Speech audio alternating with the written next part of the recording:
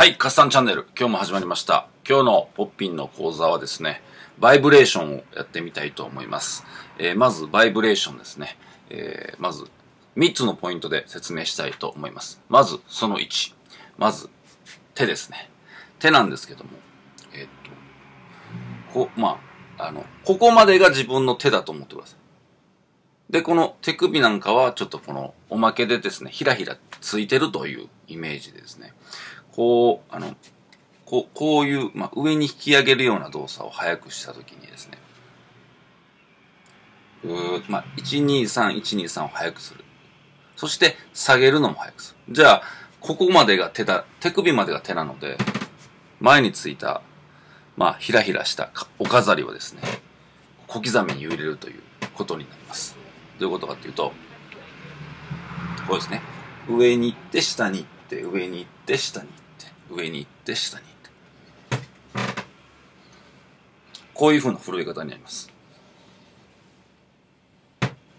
はい。この震わし方、えーぜひ覚えてください。手首ですね。はい。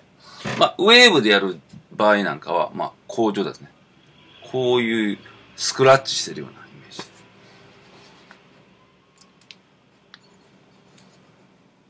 あこういうことですね。本当にこういう、こういう、この動きを速くする。なので、まずこの、手を使ったバイブレーション、2パターン。そして、あとはちょっとですね、首ですね。首は本当にこの、ちょっとこのうつむいた状態から、こう上にこう、あの、まあ、当てていくっていうのをこう早くする。こういう状態ですね。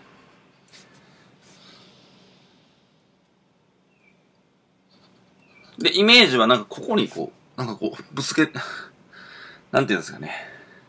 はじめは緩くしながら、なんか目標物を自分の中でちゃんと決めてやる。それが一番わかりやすいのが下で、自分のこの喉のこの下のこの胸のところにですね、顎をこう突き刺しに行くイメージで、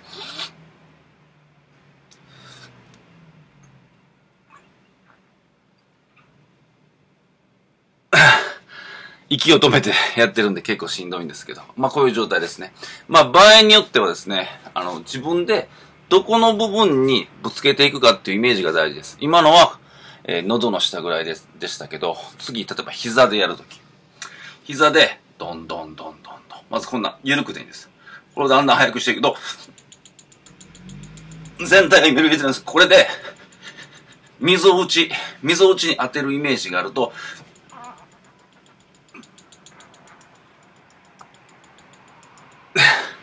っていう風に、どこに当てるかによってですね、力のかかり具合が変わる。えー今のはですね、水落ちにかけながら、首のこの、ぐんぐんぐんぐんもちょっとミックスしました。すると、ああいう風になります。で、えーちょっとですね、ポイントと解説を今同時にやったんで、音でちょっと説明してみたいと思います。実はバイブレーションも音が大事で、ダンスのテクニックでいうところの、えー32ビートを取ってることになります。1、2、3、4、5、6、7、8。これの倍が、トントントントン。これが16なんですけども、バイブレーションは32。タタタタタタタタタタタタってこう、タタタタタタタってもうその、むちゃくちゃ速い音を取ることになります。だから、はじめは、1、2、3、トントン。で、これを早く、ドンドンドンドンドンドンドン。ここから下に行きます。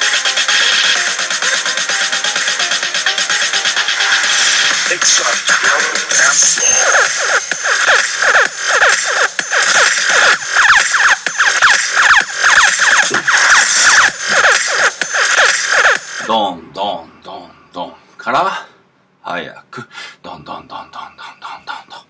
こっから倍です。タタタタタタタタタタタタタタタタっていう、そのイメージで練習をしてみると、バイブレーションが使えると思います。まあ曲でね、ちょっとそういうダダダダダダダダダダダダダみたいなところがあればですね、ちょうどそこに向けて練習してみてはどうでしょうか。はい。まあ、あの、ずーっとダダダダダって言わない場合もありますし、こう、バババババババババババババババドドドドドンっていう、こう、単発の場合はですね、まあ、そこの行く目標に向けて、一番初めに言ったですね、こう、ぶつけていく。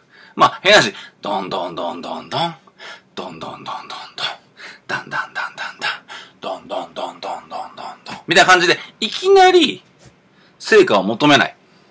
まずはゆっくりのタームでやって、それを徐々に体で、あ、どこに力を入れたら、どこにぶつけたらいいのかな。どうやったら音を外さないのかな。みたいなところでやっていくと、徐々にバイブレーションの、え、力の入れ方が分かってきますんで、とりあえず今日やった。手、首、膝、で目標を決める。